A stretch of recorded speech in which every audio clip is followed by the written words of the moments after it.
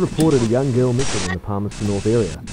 Body was found 10 days. Police suspect foul play and further investigations are being carried out.